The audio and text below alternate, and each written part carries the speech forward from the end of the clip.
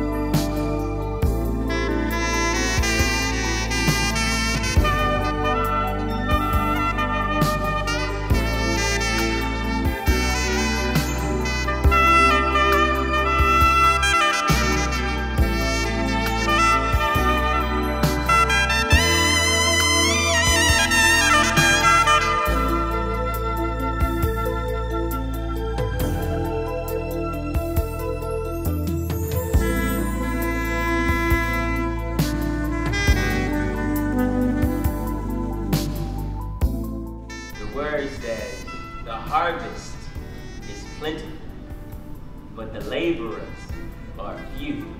We had nine young men. We just had a few. They were amazing, and they are prepared for the harvest. You guys have done a great job in preparing these young men to go out and tear the world up. So.